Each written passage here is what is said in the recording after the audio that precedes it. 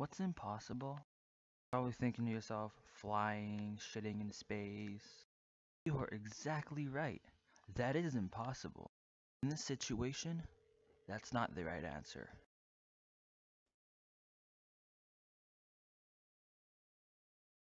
What if you could have a staring contest with yourself?